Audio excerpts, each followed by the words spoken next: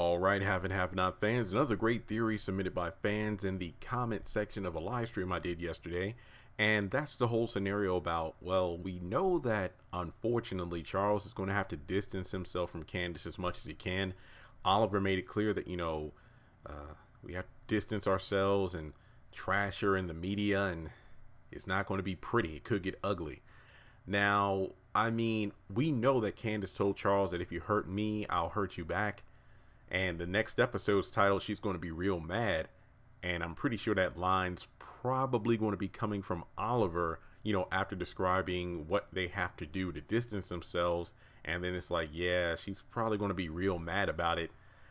I think that, you know, Candace won't take this lying down, but maybe if she's staying with Hannah and, you know, those two are close like they are now, or possibly get closer, Hannah might be able to talk her from doing something she'll regret. Like, trust and believe. Candace is Candace. She'll find some way to get back. But the thing is, you know, you're dealing with the president elect. Not to mention, not to mention, guys, remember that, you know, um, Scott, Kyle, the FBI, they're trying to bring her down from another angle.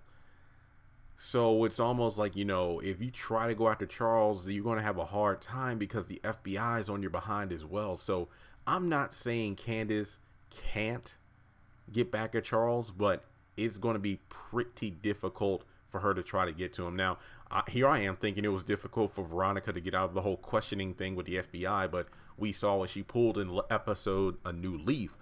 But the biggest way that Candace could possibly get back at Charles is if she's pregnant, because a lot of people bring that up. You know, Charles is kicking into the kicking kicking her to the curb and whatnot. But what if it turns out that Candace is pregnant by Charles? That would make things very complicated for him. I mean, you got the whole abortion thing that might be brought into the picture, but I think if you ask me, I think Charles would be like, I've hurt her enough She's already lost one child. I'm not going to force her to lose another.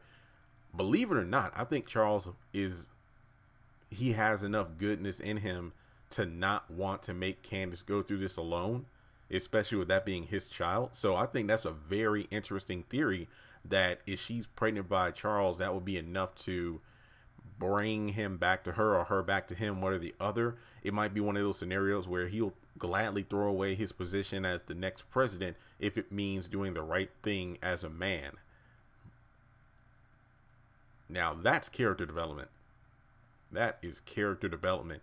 But um yeah, it's kind of interesting. For some reason, I'm not really long-winded today. It's just like that's the point of the video. So let me know your thoughts in the comment section below.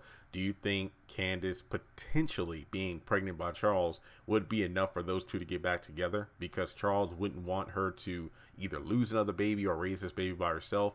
So once again, let me know your thoughts in the comment section below. Subscribe to the channel if you haven't done so already. And give this video a thumbs up and I'll talk to you soon. Congratulations on making it to the end of this video. If you like what you just saw, make sure to hit the thumbs up button, or if you have anything you would like to add to the video, make sure to leave your thoughts in the comment section below. If you want to keep up with me on social media, go to the description box. All of my links for social media are right there. Also, if you feel like you would like to donate to the channel, make sure to click on the link to PayPal. Any amount helps, a dollar, $5, $20. As a full-time YouTuber, any support from my fans really does mean a lot to me. Finally, make sure to hit the subscribe button as well as the bell notification icon. That way you're kept up to date on any new content I post to the channel. Once again, thank you so much for tuning in, and I'll talk to you in the next video.